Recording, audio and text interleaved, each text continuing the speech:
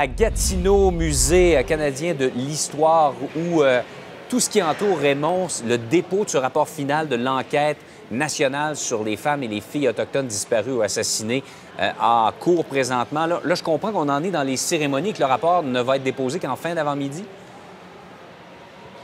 Oui, le rapport est déjà public. Par contre, il a été remis euh, à l'ensemble des journalistes réunis ici à Gatineau un peu plus tôt euh, ce matin. Mais effectivement, il sera remis euh, symboliquement à Justin Trudeau un peu plus tard.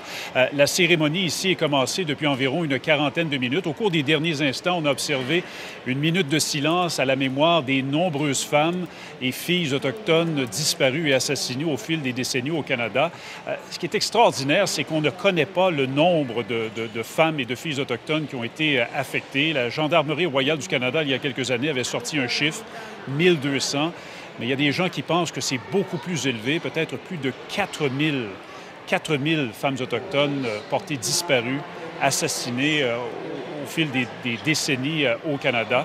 Alors le dépôt aujourd'hui de ce rapport qui fait, je le disais un peu plus tôt, près de 1200 pages. C'est un moment très important. D'ailleurs, une leader autochtone qui a parlé au début de la cérémonie a dit qu'il s'agit d'un jour historique elle a interpellé directement le premier ministre Justin Trudeau, qui assiste à cette cérémonie en compagnie de son épouse. Elle a dit au premier ministre euh, qu'il faut qu'il y ait des suites à ce rapport, que ce n'est que le début.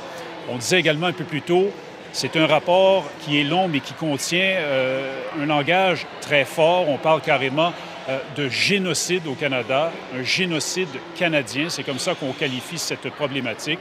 Alors, ce sera très intéressant de voir la réaction du gouvernement euh, fédéral. Justin Trudeau doit livrer un discours au cours de cette cérémonie qui doit se terminer aux alentours de 11 heures. La ministre québécoise des Affaires autochtones, Mme Damour, est également présente ici aujourd'hui.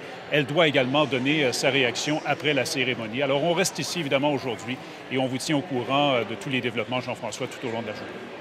Enquête qui donc est terminée, devait se terminer en octobre 2018, aura coûté 92 millions de dollars. Merci beaucoup, Raymond surveillera vos interventions tout au cours de la journée.